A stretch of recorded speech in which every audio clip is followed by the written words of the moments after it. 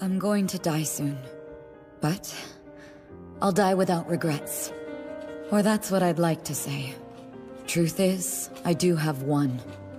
It's that I never got to marry you. With love, Ymir.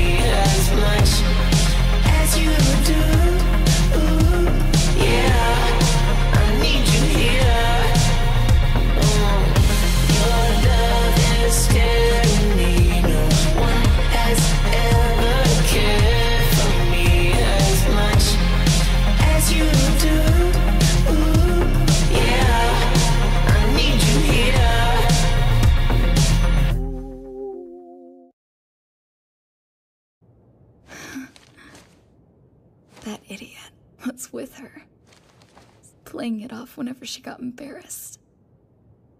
I could never tell with her.